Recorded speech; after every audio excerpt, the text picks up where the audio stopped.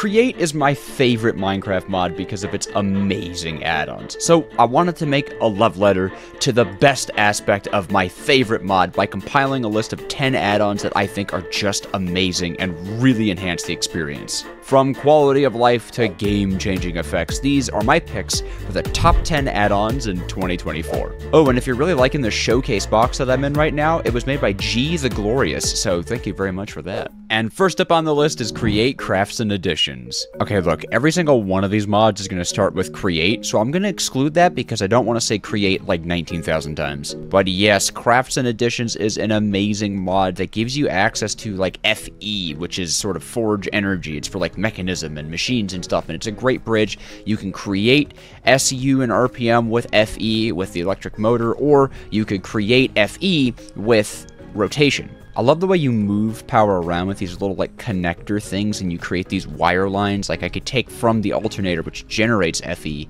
and put into the generator which takes FE and generates SU and then I could power this guy. Now, uh, as you can see, there's a lot of balance here, right? You can't produce 256 RPM off of an input of 256 RPM, so there's some loss and stuff. It's very well balanced. This is a super, super popular mod. You've definitely heard of it, especially because of the best feature, which is the blaze burner with straw. In Vanilla Create, you can't directly pump fluids into blaze burners, but if you were to put a straw from Crafts and Additions, they become a fluid container. They can be pumped directly into, and I really, really like it. It's so convenient. They also add biofuel as a liquid fuel to give your blaze burners superheated, and it's renewable. But like I said, this is in almost every single Create mod pack, as it should be, so we're going to move on to the next one. Jetpack. Yes, there is a jetpack mod for the Create mod, and it's so nice too. Like, very interesting and balanced recipe. You need brass, you need elytra, so you can't just do this, but once you put it on, you'll see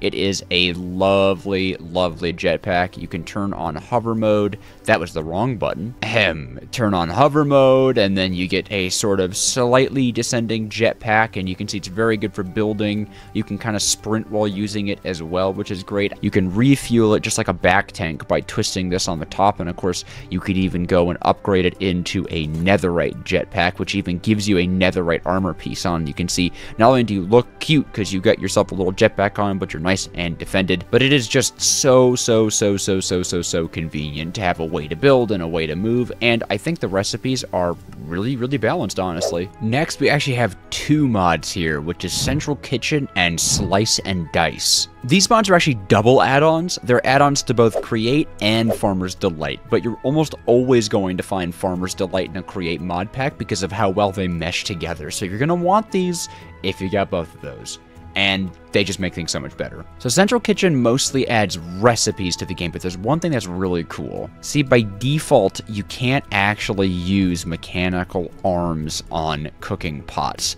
But if you go into Central Kitchens, it's called cooking guide like this. You can open this up and create a little cooking guide right here.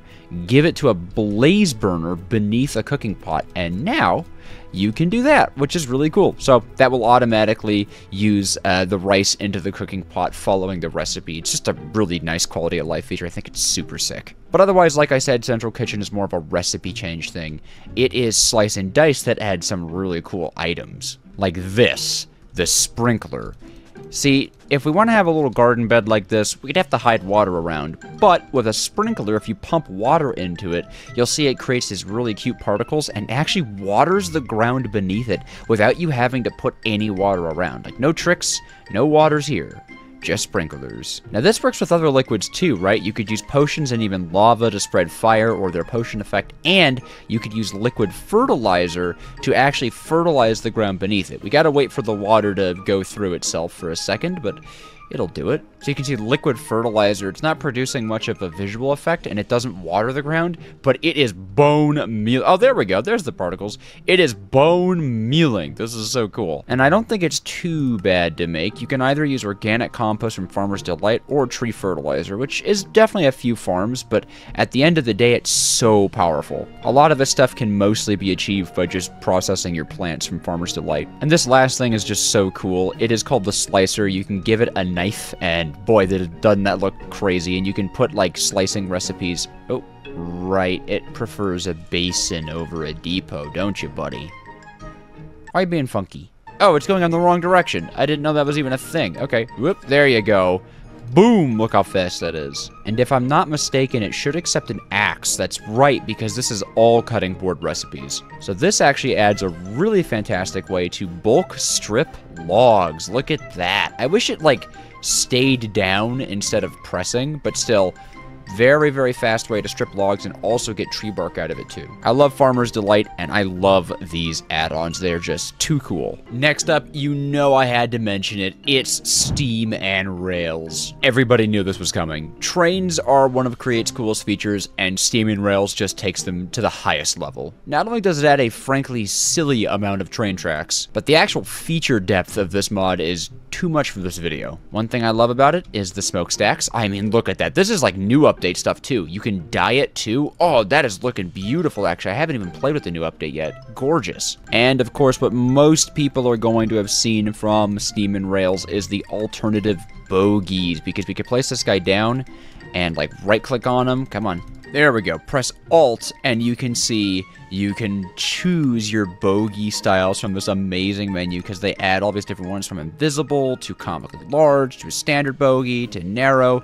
You can see they're only compatible with certain types of styles. I think this is also compatible with like, yeah, there's different types of bogey. Like, look at all these. What is that? It's so cool. It's so amazing. Don't they even add like a little guy Yes, they do. They add a little guy. Isn't this guy great? He's such a little, he's like a little andesite golem. Hey, buddy. Pretty sure these guys just act as like an easy conductor for your trains, but they're super adorable. Sorry, just going back to the smoke effect, like gorgeous, but make it pink. Oh, this kind of purple, actually. Oh, it's pink at the top. Oh, I see. Ooh, that red is striking. I'm getting distracted. Steam and Rails is just one of the essentials.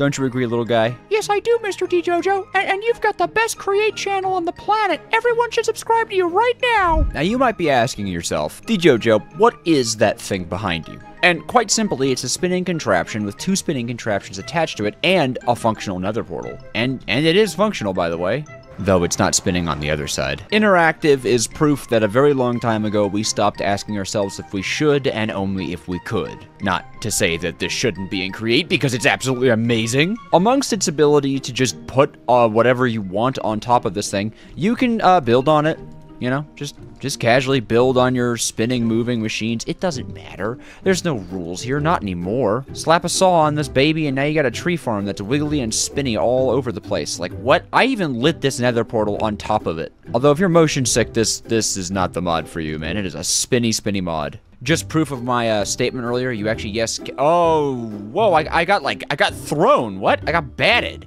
Hold on, one more time. Hit me. Boom. I'm going with it.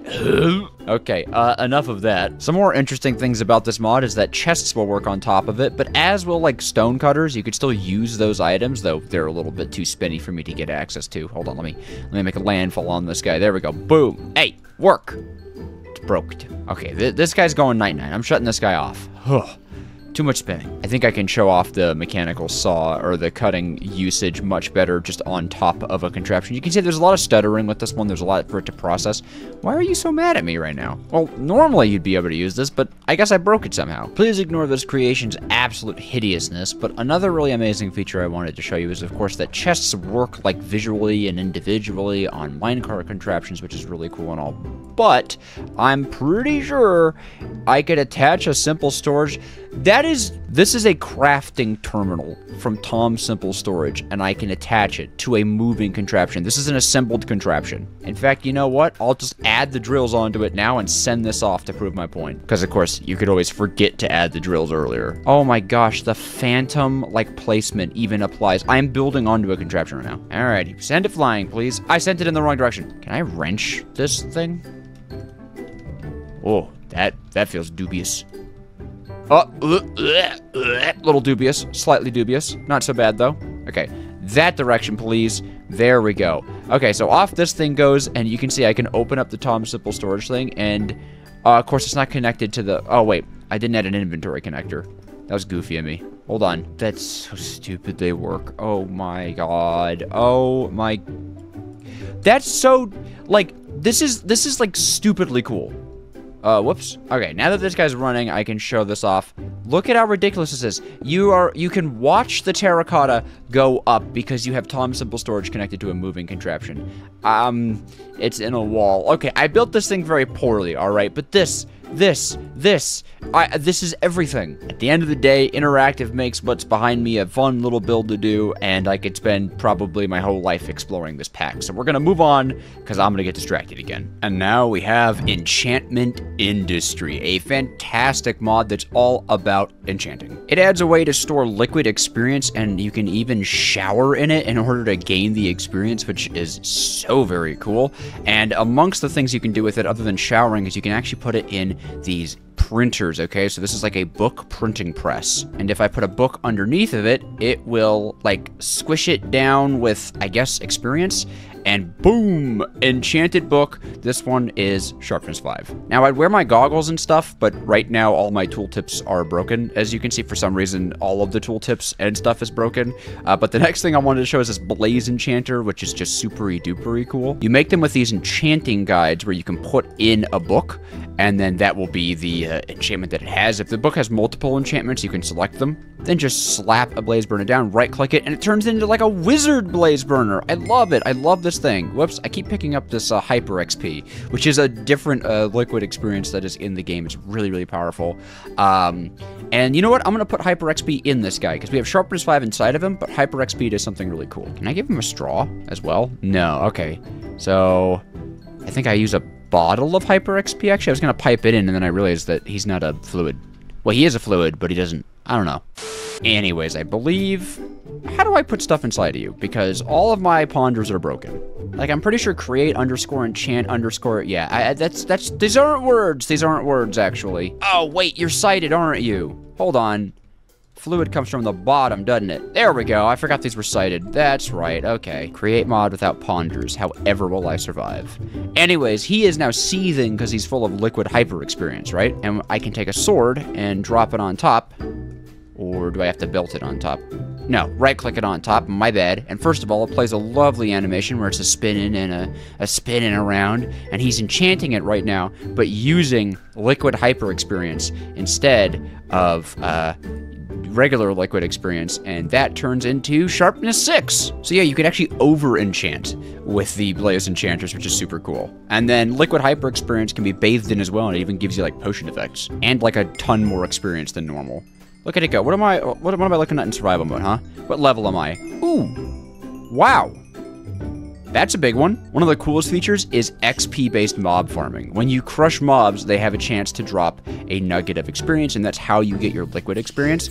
So you can make silverfish farms by infesting stone and then breaking it over crushing wheels, and then they'll get all crushed up, and they'll turn into XP. Honestly, this is kind of up there with the essentials. It's just such a neat expansion to create, and it expands it into magic. Magic and create. Everyone loves magic and create. Next up, we have New Age. I love New Age. It's a fun one. There's a ton ton really cool stuff you can do. And New Age is another one that generates FE, but it does so with this giant generator coil thing. And the way it works is you give it some rotational force, or a lot, you want to give it a time, and you make sure it's surrounded by these layered magnets, and then connect it to the carbon brushes, and it creates power, which you can use in these little generators. Kind of just like uh, how Crafts and Additions works. They even have these connectors, and by the way, these connectors, man. Oh, let me tell you, they are so satisfying to hook up. When you do it, it sticks to your screen like that. You have this little wire, and then when you hover over an Algebra 1, it just snaps right to it. Oh, it's so nice. And that sound, ooh, yeah, I could do this all day. But another cool thing it adds is heat. There's a bunch of heat stuff, and this is like a nuclear reactor, which you put uh, thorium fuel in, which is really easy to farm, and you can pump the heat out into a steam engine, or rather into these boiler heats to make a max level steam engine. Uh, I built a pretty bad one here. It's a little inconsistent and produces a bit of a light show up front, but you can see this is a really cool and very, very cheap way to get a max level steam engine once you've progressed a little bit, right? You obviously need to be able to get all this reactor stuff, but the thorium is easy. Like, you quite literally just double it. One goes in, two goes out. Beautiful. This is another one of those feature depth ones that I can't go over today, but New Age is just a blast, and if you want an awesome way to do steam engines and power, well, this is the new way to do it. Another obvious one is Deco, one of the best Create add-ons for building. It is literally a building mod with Create in mind. There are train hulls, there are coin piles, there are different types of bars and doors and trapdoors, and, and look at this connecting texture blocks, and this is just cast iron. If we go into the blocks and Create Deco, you can see there's andesite, gold, netherite, cast iron, copper, brass, zinc. It's so feature complete. I love these catwalks. They have these adorable like signs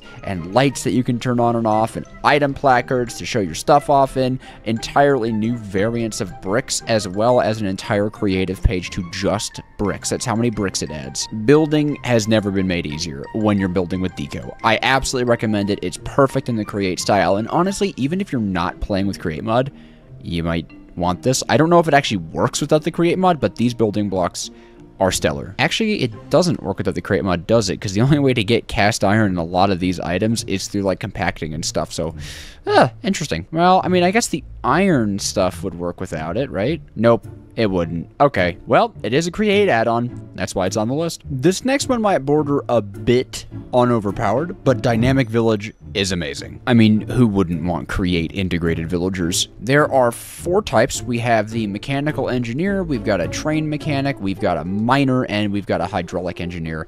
And you can see their selection of items is fantastic. A lot of either difficult to automate stuff or annoying to automate stuff is right here. Fluid valves, we got copper boots, back tanks. This guy even sells you zinc and eventually brass and full blaze burners. This one I love. The train guy actually will sell you iron or display boards, train casings, up to vaults. Wrenches, man. Who needs infinite wrenches? You need infinite wrenches. How about infinite emeralds for your belts or basins? I love that you can buy mechanical arms and crafters. I bet you could do a whole playthrough of Create without actually crafting anything from Create with these guys. Like, I'm sure at some points they sell like shafts or cogs. Well, I guess you'd have to craft these. Or maybe not, come to think of it, because I believe this is a special villager house that actually contains all the things that a hydraulics engineer needs. So, not only is there create components in here, but there should be a villager running around. I think it might be this guy. You're a mason. Get out of here, bro. Aha. Oh, this is even a miner. So yeah, you could play create without crafting anything from create. Maybe that's too OP, or maybe it's super duper cool. But these guys won't be for everybody, will they?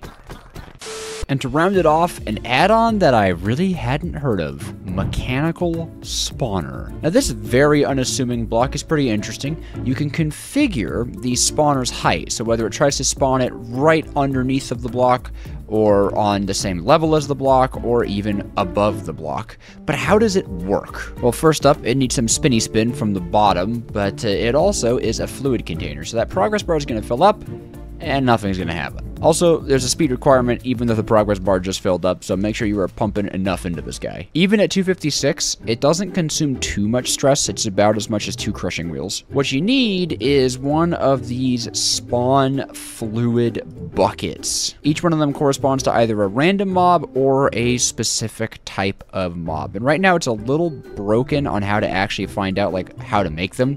You want to look at their uses and then click on this liquid. For some reason, there's no way to actually put the liquid in the bucket. That's just a bug. But you can see the recipes are pretty interesting. So a magma cube needs magma cream and spawn fluid. An enderman is an ender pearl and spawn fluid. And could you guess what a creeper is? It's a gunpowder and spawn fluid. And spawn fluid is blaze rod, ender pearl, water, boom. Wanna guess what happens when you put the spawn fluid in the spawner? If you said it spawns things, you'd be right. We're gonna use the random one because random is fun. And just to show this thing off, I think it's super cool. We're gonna set it to spawn it a little bit above, uh, and then we're actually gonna pull a cog power out to here to make sure that pump is moving, and you can see it will begin to attempt a spawn. I'm pretty sure each spawn takes a hundred millibuckets of the spawn fluid, so you actually get a few spawns out of one craft, which kind of balances out the fact that it takes mob drop to make it. But with random spawn, as I was saying, with random spawns, you get random mobs. Here's a skeleton who's now burning to death in the skylight. I think this is a really great alternative to using trains or minecart contraptions to have to go and grab blocks and stuff and cart them across the world. That's really annoying. This is just a craftable thing, and it's not too bad. It's really just brass and like emeralds, which is a cool thing. And as you can see, it's not like the fastest thing in the world, but I feel like that balances it out for the relatively low cost. It also allows you to farm creatures like Enderman a lot easier without needing spawners or anything like that. I just think it's super cool. Like here, we can fill it with, uh, oh, a little slime. We can fill it with creeper fluid, and uh, we'll break this. And there we go. Boom. Creepers. Look at these guys. Love them. Farm them. Whoops. A little shrunk. Well, there you have it. My top 10 picks for my favorite add ons for 2024. I think these are a fantastic, fantastic bunch, and having all of them in the same pack will just produce a wonderful Create Mod experience. And I'm really glad that I discovered something like Mechanical Spawner in my research because it allows me to have infinite creepers. And, fun DeJojo fact, creepers are my favorite mobs in Minecraft. Well, visually at least.